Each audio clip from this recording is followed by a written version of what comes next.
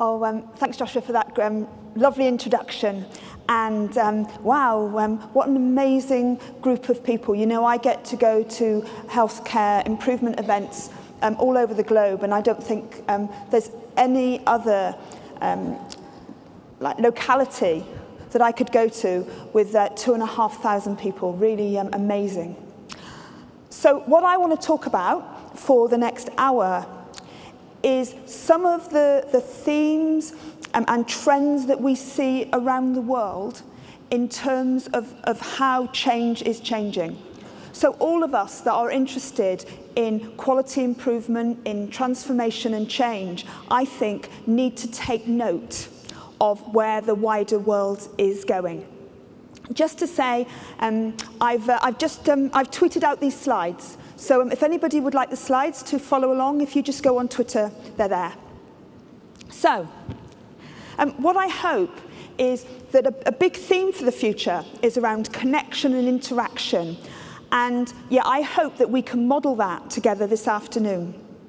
So really want to encourage you to tweet um, using the hashtag HQT uh, 2016. And I want to create a little challenge for you. Because of our, our theme around connectivity and platforms, can we try and make our Twitter conversational? So rather than like just, you know, tweeting out, wow, that's a great slide, okay, when, when you see, you know, some people um, tweeting with our hashtag, can you reply to them? And let's see if we can get a bit of conversation going. And um, during this session, we've also got a special Twitter monitor, Jennifer, and she's going to come up on the stage before the end of the hour and um, tell us what's been happening in social media. So, what I'd like to do to start with is to talk to you about five big themes that we see in the bigger world of change and transformation. So my job, I'm the Chief Transformation Officer for, the, um, for NHS England.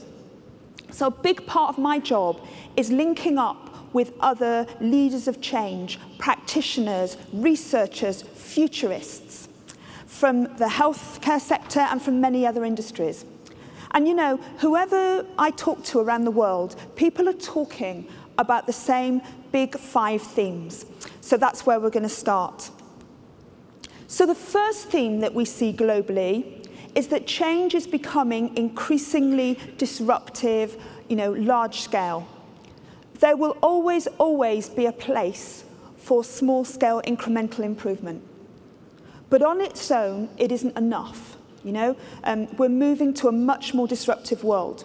So when people say, oh, you know, I'm, we're just so fatigued by change, we're just worn out by change, can't we just get out off of the hamster wheel for a little while?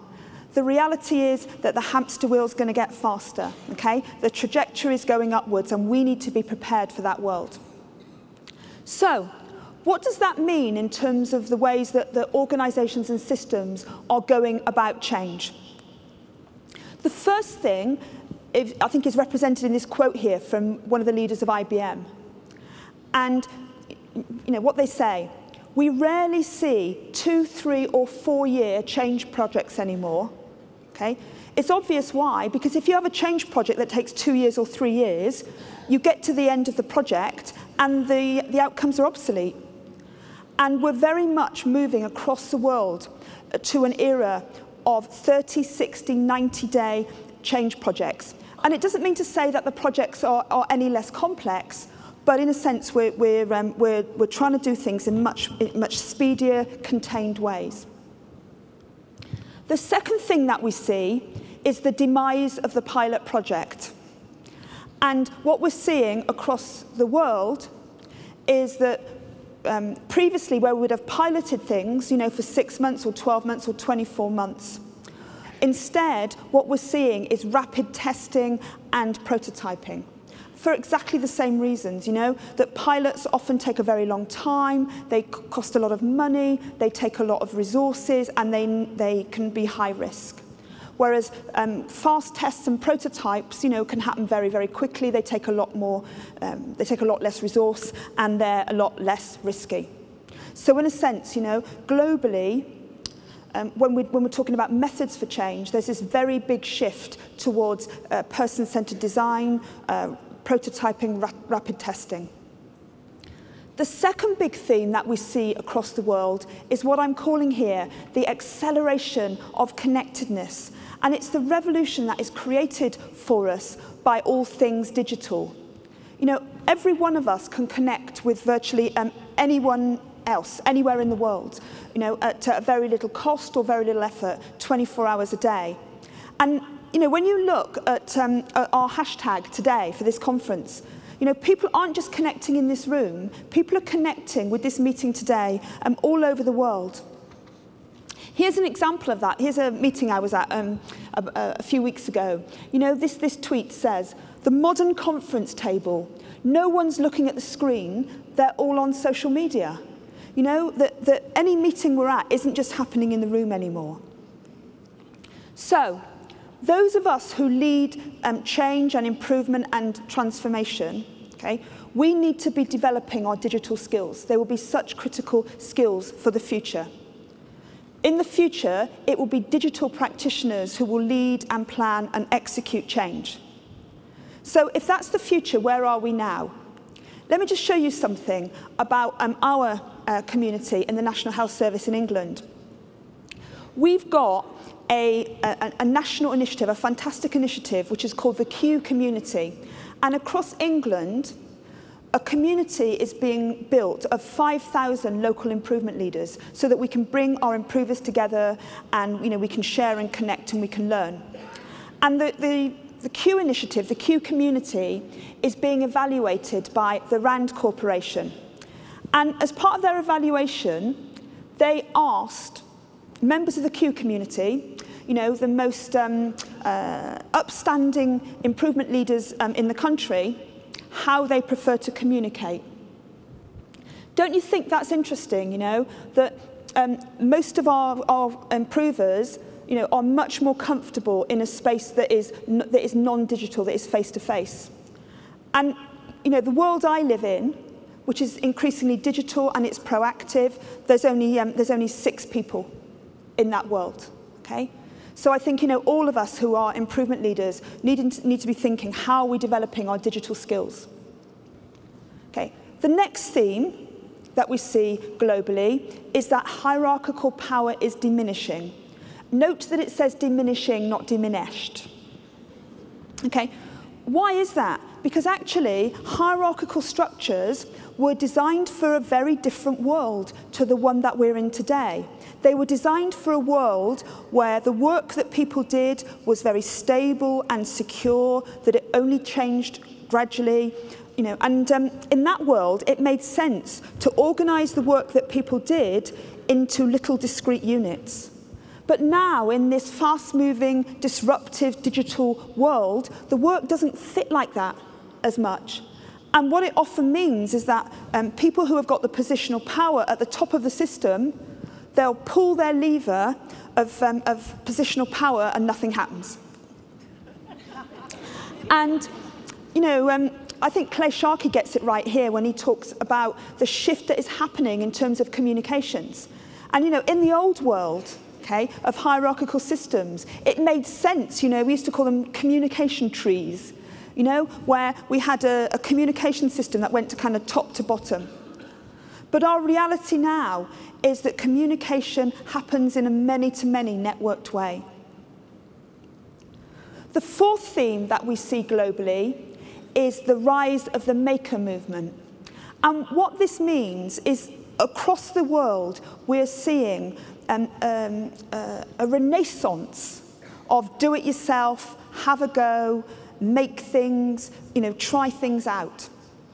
And this is very much fueled by digital connectivity because people that are makers around the globe are able to connect with each other.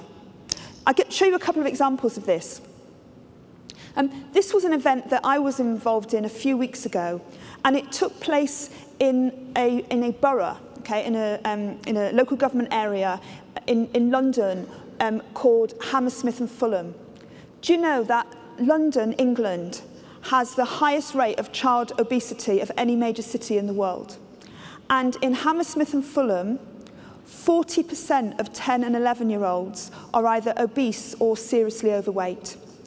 And, and it's a massive problem because an obese 10 or 11 year old is likely to grow up into an obese adult with you know, many, many problems and complications and issues. So what we normally do is we, you know, we call in the public health professionals and we look at the evidence and we come up with a, um, you know, um, a healthy eating strategy. And um, what the leaders in Hammersmith and Fulham decided to do as well was to bring together 150 people from across the community, lots of young people, um, community members, uh, local owners of fast food shops, uh, coders, designers, creatives, public health professionals, and put them all in teams and got them to make solutions to these issues around healthy and fit young people. And what they came up with was, was truly amazing.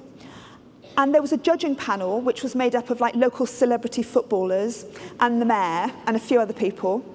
And they, they, they um, judged these ideas And several of them now are being put into um, action with a 100-day challenge. Okay? But it's a kind of different and additional way of doing things with a lot of energy. Um, here's another great example of the maker movement. This is a project called Nightscout. And this was started by a, a, a father of, a, of a, um, a small child. Um, his son had type 1 diabetes. And it was very troubling to his parents that the, the, the um, little boy was going to school without any continuous glucose monitoring. So the father went down his garden shed, okay, got out his tools and made a monitor. And um, what happened is, obviously, because of the power of social media, people all over the world have picked up on this. It's called the Nightscout Project. And now, you know, absolutely globally, okay? Thousands and thousands of people are making their own continuous glucose monitors. And of course, what's happened is that, you know, um, a number of people in the medical profession are horrified. You know, how on earth can patients make their own monitors? You know, um, you know they, they have to solder them. Um, but, but actually, the reality is it's making a real difference. And, you know, it's, it's a different kind of relationship here. It's, it's patient and parent as expert, you know, patient and parent as maker and patient and parent as collaborator um, in, a, you know, in a radically different way. The final big theme that we see is across the world, change is moving to the edge. What do we mean by that?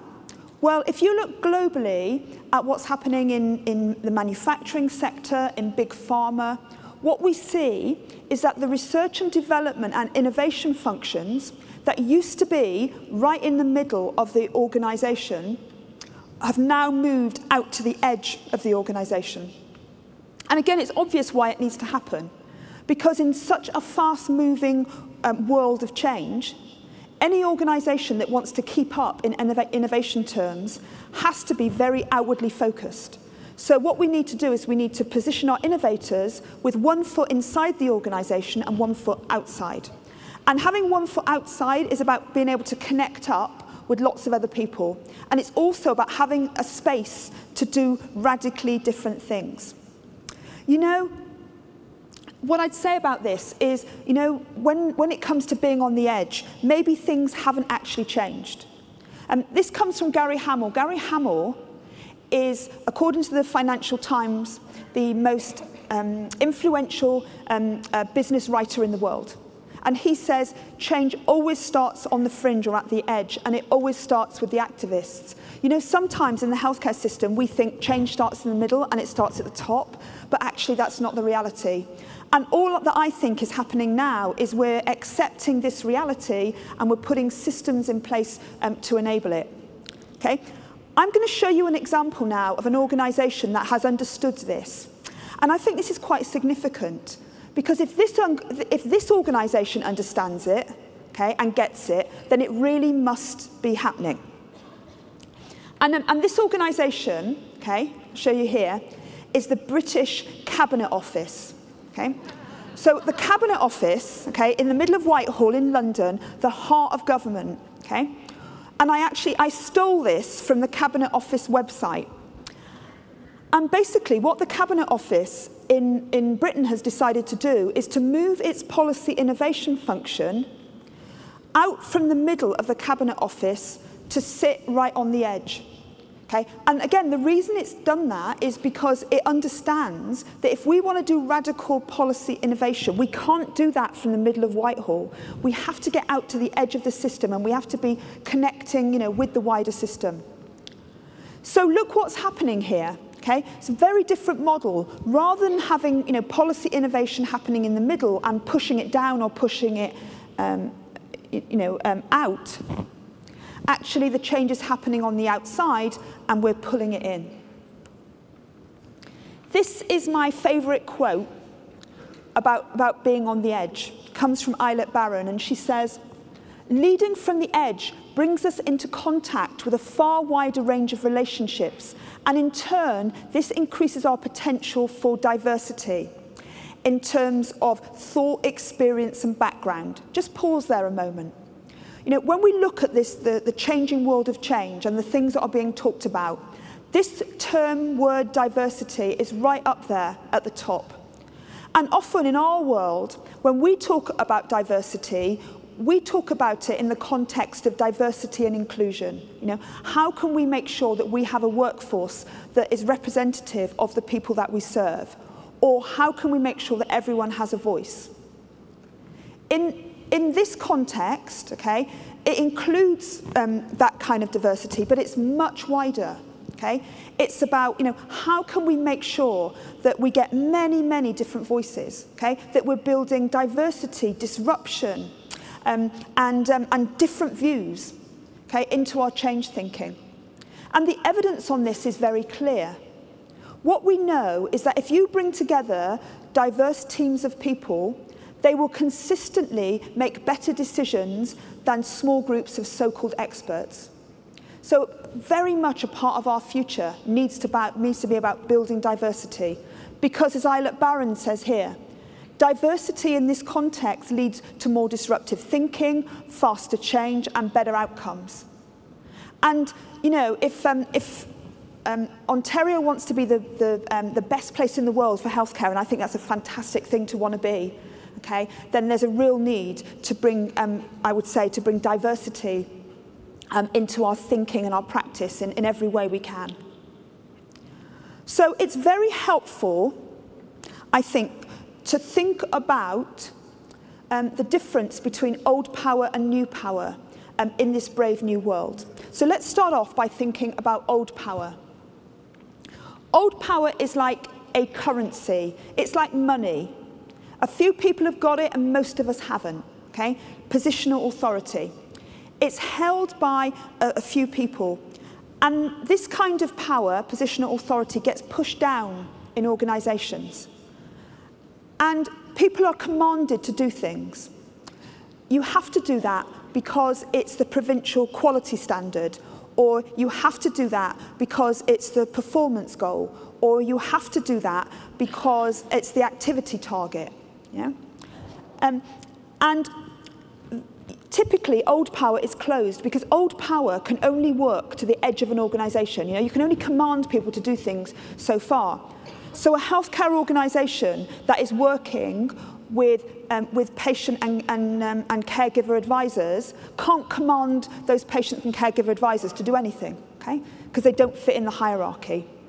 And largely, old power is transactional. It's about processes and structures and performance management systems and holding people to account. Let's contrast that with new power. New power is like a current. It, it, it surges with energy when people come together with, uh, with a common cause. And new power, we pull it into our organisations and systems. So every time that we ask patients and caregivers to be partners with the formal system, we're pulling in new power. Okay? And new power is shared by many people with a common cause. And, and it's open, you know, we're not closing, we're, we're not kind of closing the doors here. Anybody who um, shares our mission, who shares our cause, who wants to be part of our call to action can be part of it. And largely, new power is about relationships. The thing about new power is people engage in it because they want to, not because they have to. So because it's a question of, of choice, you know, um, if I don't trust um, the, the uh, you know, other people, if, if I don't trust that, the, that I'm giving my time voluntarily or gladly, and if the things that I think are going to happen don't happen, then I won't engage again. So largely, I'd say, you know, um, new power is I, things I do because I want to do. Old power is the things I do because I have to do, uh, because they're the rules of the system. So, you know, some of the people that um, I get to connect with, who are the kind of far out futurists, um, they talk about the death of old power. Um, I don't think that old power will be dying in any healthcare organisation that I know um, anytime soon. Okay? However, what I do see is like a layer of new power that's coming on the top and it, it opens all kinds of possibilities for change. What I'd also say is that like where we need to be, okay, you know, the people that are leading change, that are passionate about change, actually we need to be able to operate in that very difficult zigzaggy place in the middle with the red um, and the green. What I'd also say is all of us need to be um, developing new power skills and capabilities because, you know, as I was saying, old power doesn't work as well as it used to. Okay? So even where I'm a leader with positional authority and power, I need to be learning new power ways of doing things. So um, this article um, was, uh, it's, actually it's a Canadian article um, written by Battilana and Casciaro, um, and it's called The Network Secrets of Great Change Agents. And what they did was they went into a very big organizational system and they followed 68 change projects around that big system. And the reason they did it was to try to understand, you know, who, who are the best change agents, okay? What are the characteristics or the position of the people that can make change happen in organizations? Okay. Apart from the people that were in my workshop yesterday, okay, who knows what is the name of the big organizational system that these two Canadian researchers um, followed the change projects around? Anybody know? I'll tell you. It's the English National Health Service. Okay? so they, they followed 68 change projects around the NHS. What they found was that actually being an effective change agent and uh, enabling change to happen was very little to do with position in the formal hierarchy. It was very little to do with old power.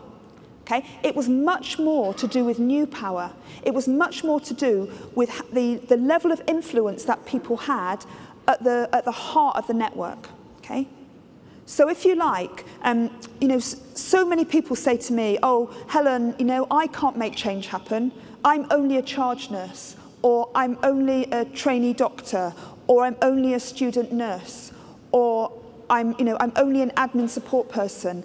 But guess what? Actually being an effective change agent isn't to do with where we are in the hierarchy. It's, it's to do with you know, how we organise. So let's talk about who is going to make this change happen or, or who makes change happen. I want to start off, this is list A. Okay? And, and again, this is written for my English context, so you'll have to kind of translate into Canadian. Um, but I think you'll kind of get the point of it. So, we, we are going to have a big transformation project in our, in our um, uh, you know, uh, hospital organisation or um, you know, in our geographical area. So who's going to make the change happen? Okay. Is it the Transformation Programme Board or whatever equivalent title? Is it the very senior leader or the minister who is the programme sponsor? Is it the Programme Management Office that oversees the, the programme? Is it the, um, the leads of the 27 work streams. Okay? Of course, we have to have clinical leadership, so it's the, is it the clinical leads of the work streams? Is it the unit managers, or is it the improvement facilitators? Okay? Are they the people that are going to make the change happen? Or is it list B? Okay? You know, the, the, the mavericks and the rebels, the positive deviants, who are the people that can do things differently and succeed. Okay? The contrarians, because they know they can. The people that are non-conformist, because they can see the world through a lens that nobody else can see.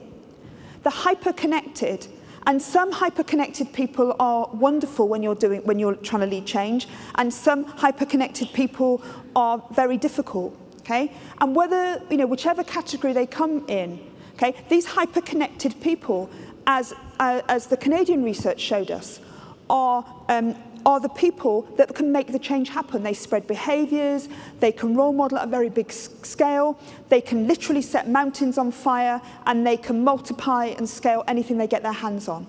Okay? And, uh, or is it the hyper-connected? You know, and there's multiple reasons why people are hyper-connected, and it doesn't really matter which, but the fact that hyper-connected means that they can make change happen. So, you know what I'd say is that the people who live and perform in the formal organisation land, uh, list A, and the people with the power to make and break change, the list B, are actually two different lists. And you know what? We need both. Okay? I don't know of a single example of sustainable or sustained transformational change anywhere in healthcare in the world that was achieved um, uh, just by list A. Okay? We need to be working with both. Okay? What's the evidence? Well, starting in this top left-hand corner, if you look okay, at the research into the failure of large-scale transformational change projects, what it tells us is that it's rarely due to the content or the structure of the plans. Okay? It's rarely due to whether or not we got McKinsey or, or um, Deloitte in um, for um, you know, three months to do analysis and came up with a fantastic plan. Okay? Or, um, or the timescales of the plan. Okay? That's not what makes um, large-scale change fail typically. Okay? It's much more about the role of informal networks. Okay? It's, the, it's the list B people, you know, it's the, um, it's the hyper-connected, it's the influencers, okay, in the organisations or systems affected by change. And we have to conclude that actually if we want to make radical transformational change happen, we we need to, to, um, to connect the networks of the people that want to make the change happen. And this is where I see quality improvement approaches often going wrong. Okay?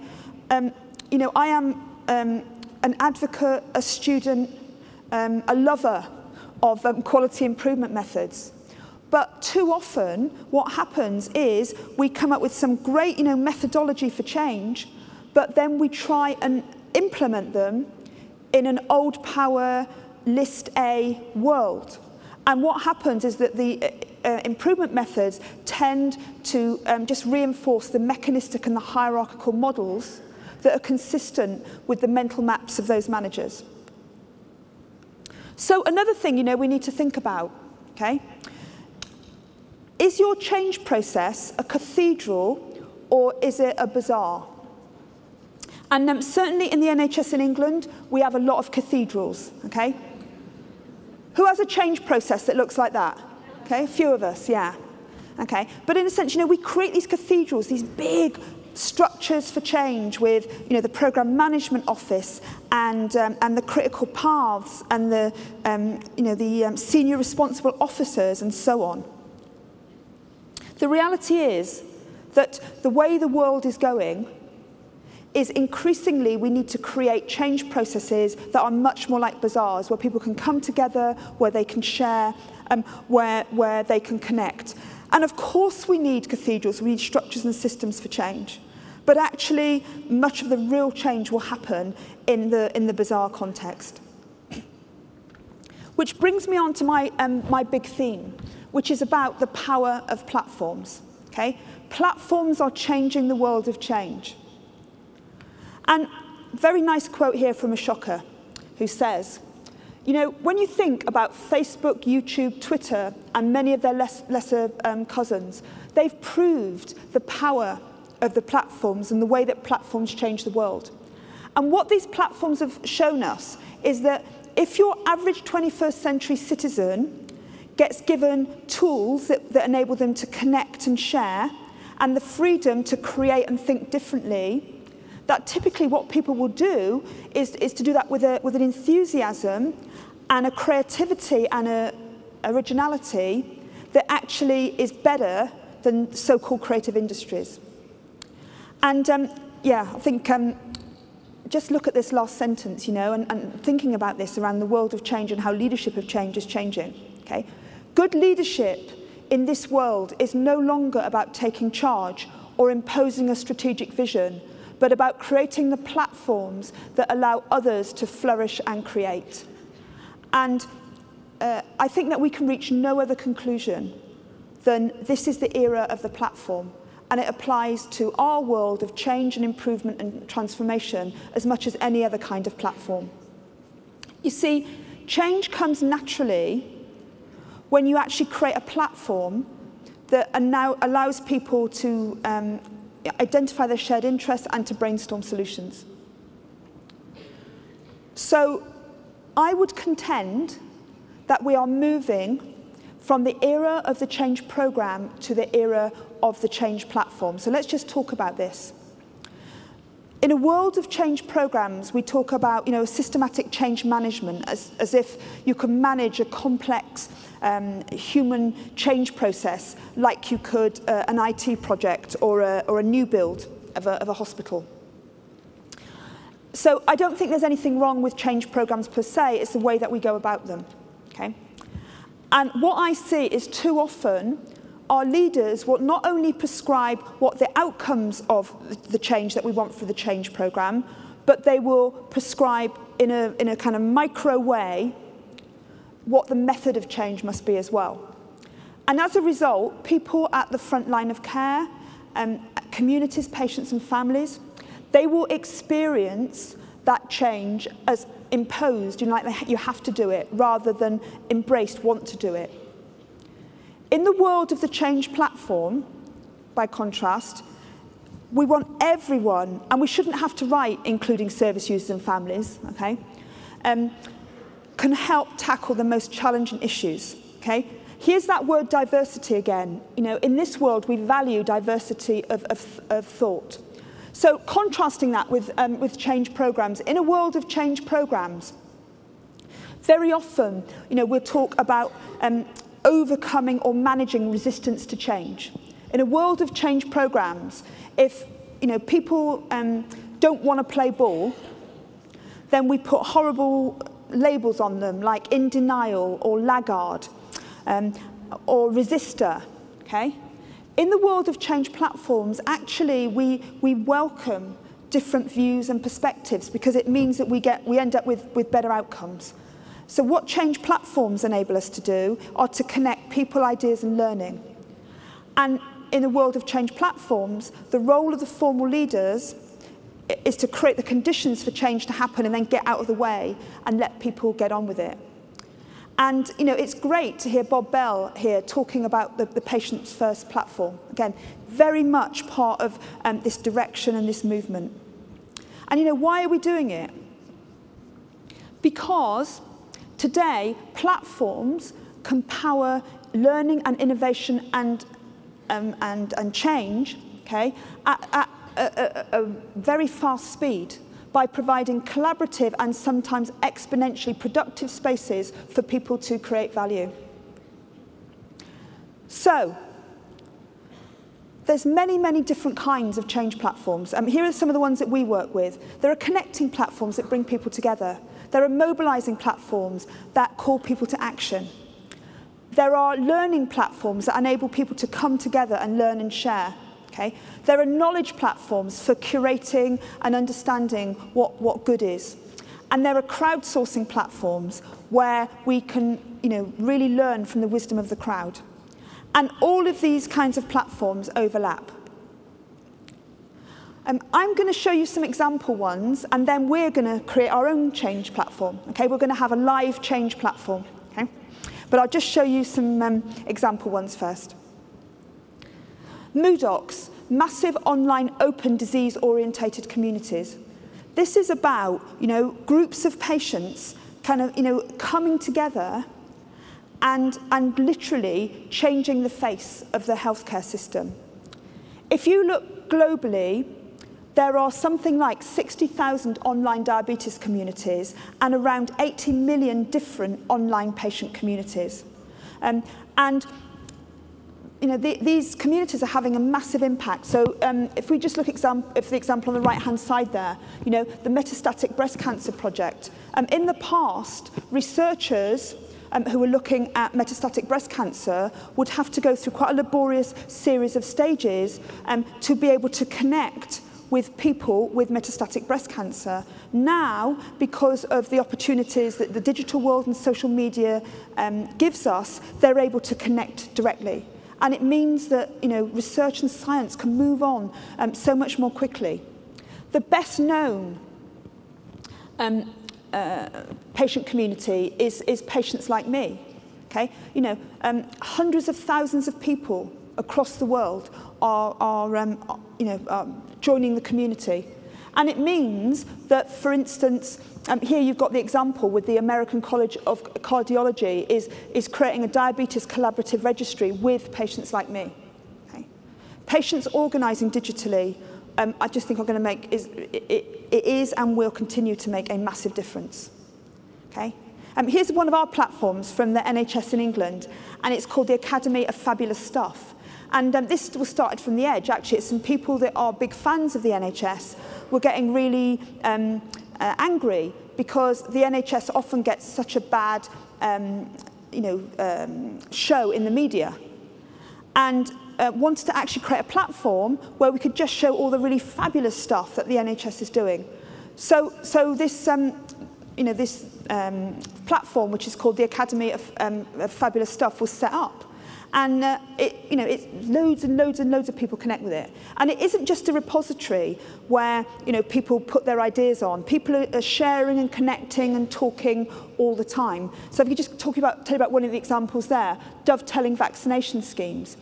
What happened there, that was a, um, a scheme in London. Uh, it was about vaccinations for teenagers. And instead of having to have three separate vaccinations, they were dovetailed. So um, teenagers only had to have one vaccination. Okay? The day that that went onto the Academy of Fabulous Stuff platform, 160 other organisations inquired about it. Um, this one's fun. This one's from the US, from the Robert Wood Johnson Foundation, and it's called Flip the Clinic.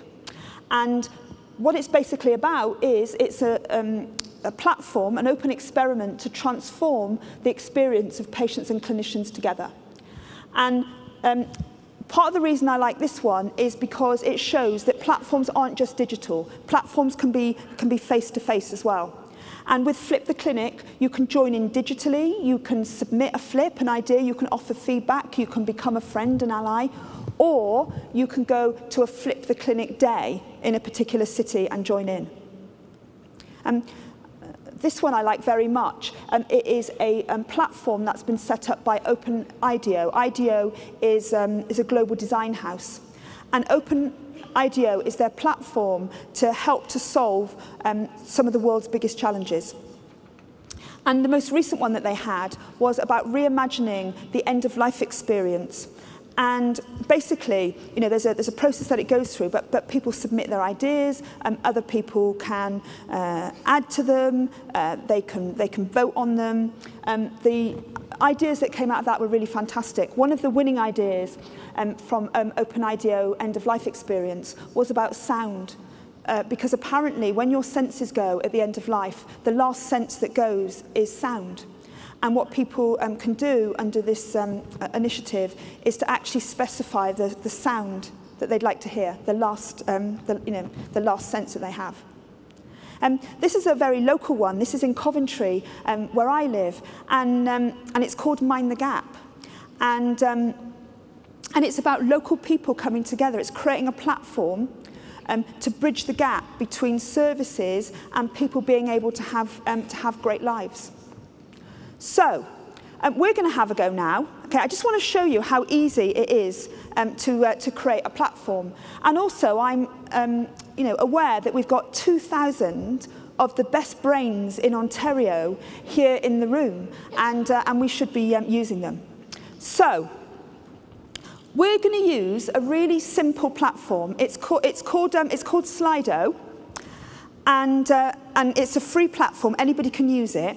And what I want you to think about is, I mean, um, you know, let's, um, uh, let's take the Bob Bell challenge, okay?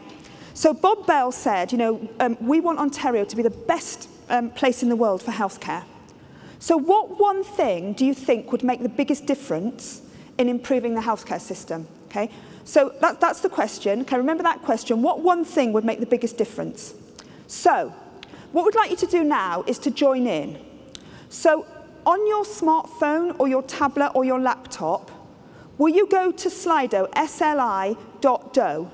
Okay, so um, if, you, if, you, um, if you just put that link in, and it will ask you for an event code, and if you put in 7674 and click join the event, there will be a space that says type your question.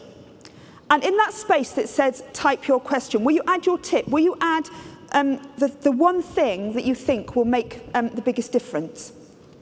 Will you then add your name before you click? In a moment, I'm going to go onto the Slido page. Okay, I'm just going to give you a couple. I'm just going to give you a couple more minutes to do that. You will see all the answers appearing, and what I want you to do is to vote for the ones that you like best by clicking on the thumbs up, and we'll see which. I will do this really quickly. Okay, and this is going to this is going to happen really really quickly because there's so many of us. Which which is the um, our feedback to Bob Bell. Okay, around um, around what we need to do. Okay, is everybody that wants to? There. Okay, can we, can we um, switch to the Slido? Can we see this? Okay, let's just set it. Lots of anonymous.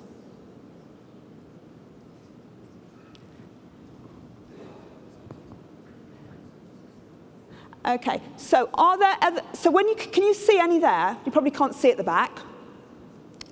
Um, okay, we've got love, we've got feedback see if you can, um, you can see any of them going through quickly and just give them a click. Click ones you like.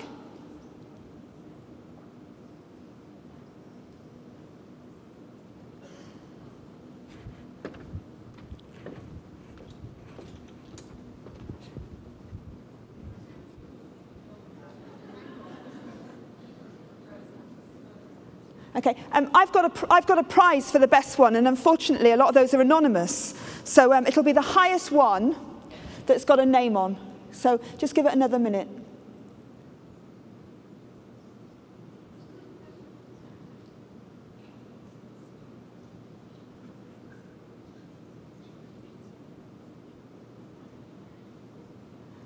Okay.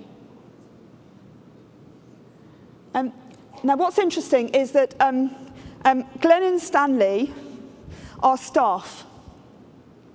Um, the, the person who did the top one around patient access to data, do you know who you are? Because I've got a prize for you.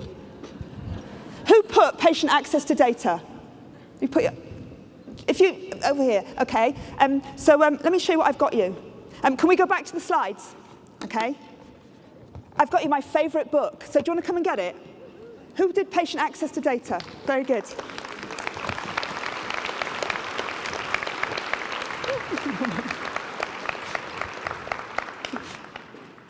There you go. Thank you. That's great. Yeah, very good. Thank you. very good. so, I mean, that was, that was a bit quick and a bit crazy, but you kind of get, you get a sense of it. So I think, you know, more and more we're going to be moving into a world of uh, platforms. And the thing about, about platforms is that people think, you know, it's about um, a, a technical platform or, um, you know, a, a, a link, um, you know, that you, um, you know, a, a digital space that you do stuff. Actually, um, platforms are about 95% relational and about 5% um, technical. And this, this model here comes from a guy called Simon Terry. And um, basically, you know, we start at a level of um, uh, maturity down here where we're just starting to connect with each other. And as we get better at, um, at, at um, you know, connecting in a, in, a, um, in a new era, we move into sharing more, okay? And then we move into solving, so we actually come together and we problem solve. And then at the, the, the top level, we get to, um, we get to innovate, uh, which, is, which is where real platforms happen. Okay? And um, what I'd say is when I look at, um, at England, okay, there's a number of organisations in my system that are getting near to that innovate platform level. So um, the first here is South West Yorkshire Partnership, um, um, NHS Trust, and they've got a system called iHub. And iHub enables um, people in that organisation to contribute constantly. Um, you know, uh, ideas, um, challenges, solutions. Okay. Um, Leeds Teaching Hospital have got a platform system called Wayfinder, and they had 4,000 people help to design their strategic approach to identify um, their, their behaviours and values. And um, here, Dorset Healthcare has got a system, a platform called iMatter, which again enables um, people to, to constantly be contributing. And the thing about this isn't that they've actually got digital platforms, which they all have. It's that the, um, that the digital platforms aren't a flash in the pan, that the leaders are very, very committed and, and, and you know, everything gets followed up, that, that uh, you know, where people contribute to the platform, um, they're, they're, they're thanked, um, uh, people are encouraged to, to vote. Um, there's very, very active community management of those platforms. And that's really very, very important because when people give and contribute to a platform, they do so um, willingly and voluntarily. And if things don't get followed up, people won't bother again. So what I wanted to do finally is just show you some of the platforms that my team work with. So we don't work with any change platforms now. We only work, uh, we only work with, sorry, change programs, we only work with platforms. So the first one I wanted to, um, um, to show you is our, is our learning platform, um, which is called the School for Health and Care Radicals. And the reason why we set this up was because we did a learning review across England and what it showed us was that many of our um, our colleagues, okay, who are the people that delivered care, doctors, nurses, allied health professionals, um, support workers, uh, felt that they couldn't even make small improvements in their services because they didn't have permission. And the challenge is, is that if we wait for people to get to, you know, if we wait to change the culture so that people feel they've got permission, we might have to wait a very long time. So how can we work with our, with our colleagues to help them feel more skilled and confident about change? Um, so we set up a virtual school and it's called the School for Health and Care Radicals and it's a learning platform and we run it once a year um, for five weeks. And um, it's based on a learning theory called connectivism. Okay? Connectivism is a learning theory for a digi digital age.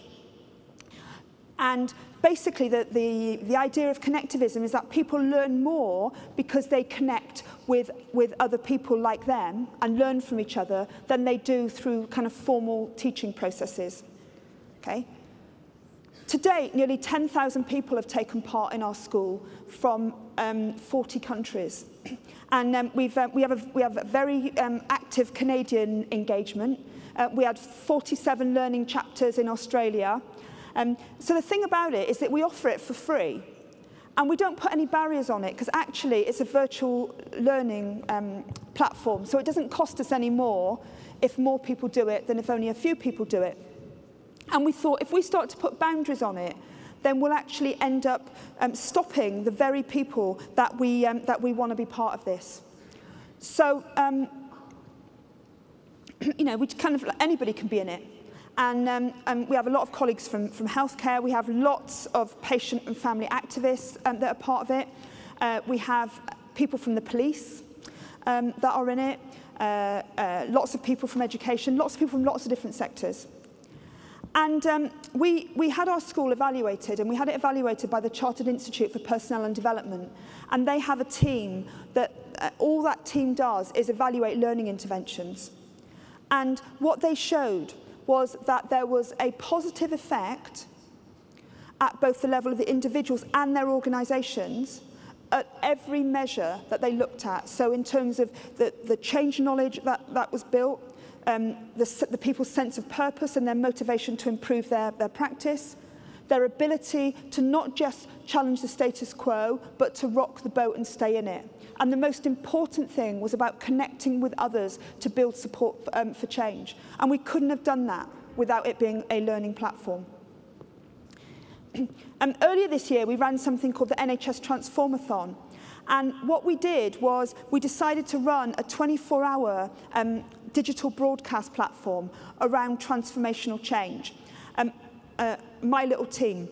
And um, everything was done for free, and we did it ourselves. I mean, it was classic maker movement. We got 150 people to be speakers over 24 hours.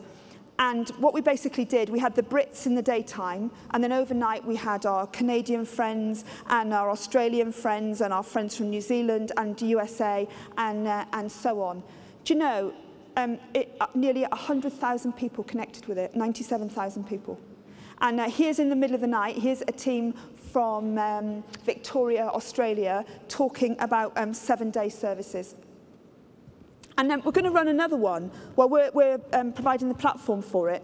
So um, uh, after we ran that the, uh, the um, NHS Transformathon, um, some of our, um, our friends um, who are uh, patient and citizen activists and community activists said, can, can we, we'd like to run one. Um, will you help us? So we said yes. So basically, we've got this um, eight-hour um, uh, transformathon, the People's Transformathon, which is all about people doing amazing stuff around the world. Um, around patients and families and citizens. And that's going to be on the 28th of November. And it starts at um, 12 noon in England. So, um, so if we take five hours off, it's, um, it starts at 7 a.m. here. And um, again, if you, if you look out for that, it's going to be on the 28th of November, and the, um, the hashtag is um, hashtag CoPro, which is co-production uh, 16. And another platform that we run is a mobilising platform, uh, which was yesterday. So um, for the last three years, we've had something called NHS Change Day. And NH on NHS Change Day, what happens is that, that hundreds of thousands of people in our system uh, take, take action to make a difference for patients. And this year, we combined NHS Change Day with the Academy of Fabulous Stuff platform. And we created Fabulous Change Day and it was actually yesterday. Um, and, um, and I was here but I still joined in. And um, um, I think I don't know what the figures are yet but it's tens and tens and tens of thousands of people taking action through that mobilizing platform that is Fab Change Day. And, you know, sometimes we do some um, really fast platforms. So this is one that we ran here um, with um, our colleagues at Nottingham University Hospitals, and they had a particular issue around should we run routine radiology in investigations um, through the night. So we said, we'll set up a change platform for you. And we engaged a whole load of people in that. Do you know, 3,000 people joined in, and they got the most incredible feedback.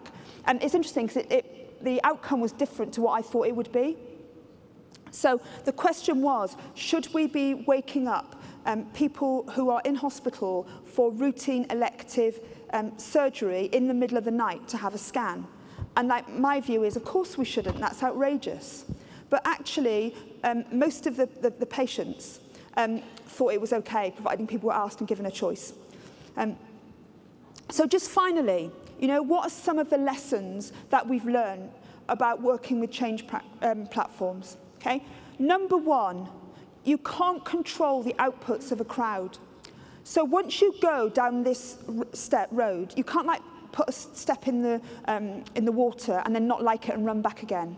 You know, because people will never engage again. And then this was a lesson that was learned um, quite well recently in Britain. Okay? So, um, So one of our research councils, um, yeah, you know what's coming, okay? The National Environment Research Council went out to the crowd to say, we've got this fabulous new 200 million pound polar research vessel. Please help us name our ship, okay? What happened, okay?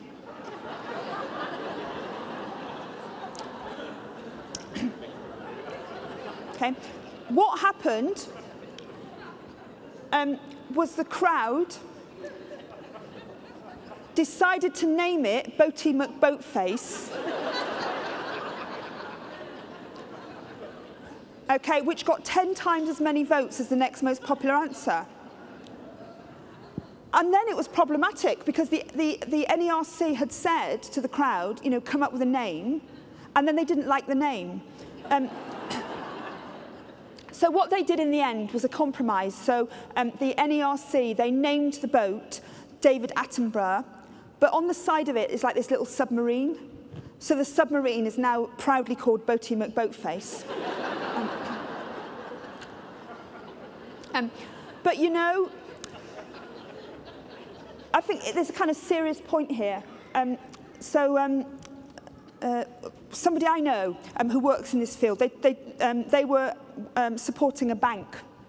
And the bank um, wanted to do, uh, create a platform around um, you know, um, the views of staff. So they, they created a platform to say, um, you know, what are your biggest issues and what problems should we be focusing on to solve? So the, the biggest piece of feedback that came back from the staff was about the performance management system in this bank.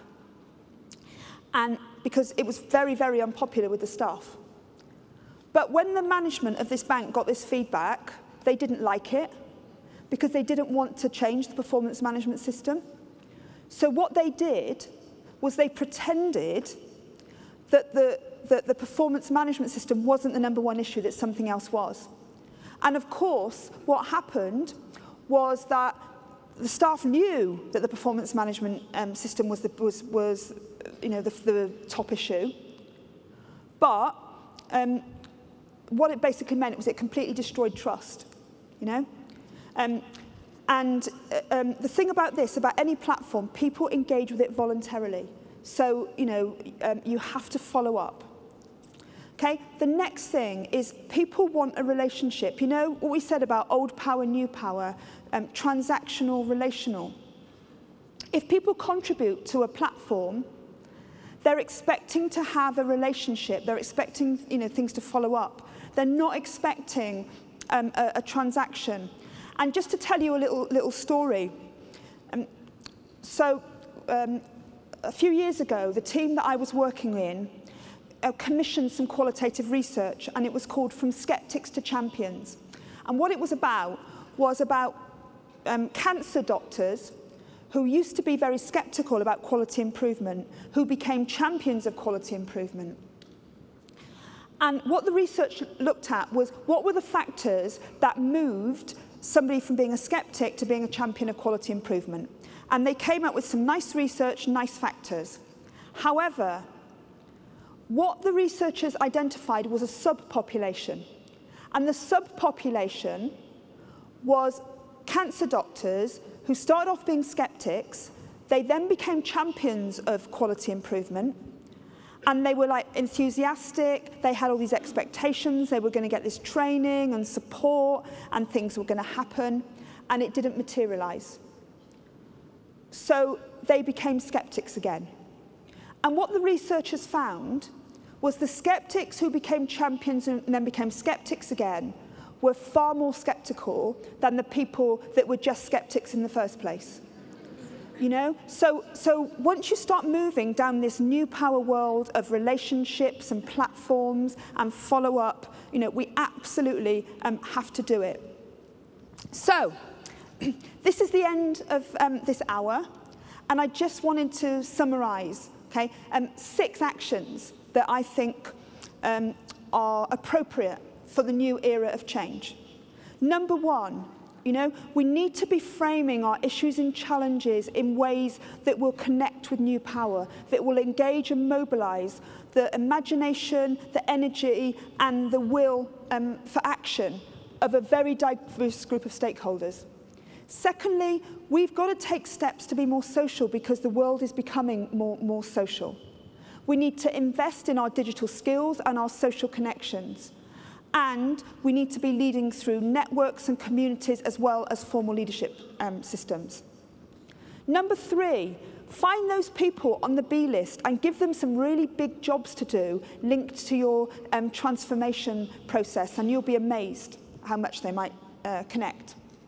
Number four, what's your equivalent of the edge? And um, you know, create it so that you can incubate radical and disruptive ideas and lead healthcare from the future. Number five, Okay? Think about what are the opportunities to work with change platforms for some of your uh, important issues and create the bazaars along with the cathedrals. Okay? And finally, think about how can we adopt approaches um, to planning and design that are more emergent.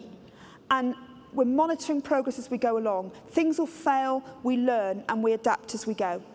And just to say finally, when you do get hold of the slides, some ways to connect. I've left you lots of lovely references. So thank you.